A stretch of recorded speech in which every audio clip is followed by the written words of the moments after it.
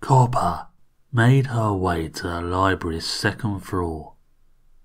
Bookshelves had collapsed across a number of games tables. Chess pieces were strewn across the floor. Decks of cards had scattered in ways that would make magicians weep. Scrabble boards had been snapped in half, throwing their letters into a alphabet soup over every surface. Once past the Scrabble boards, she let out a sigh of relief. This was all fun and games until somebody lost an eye.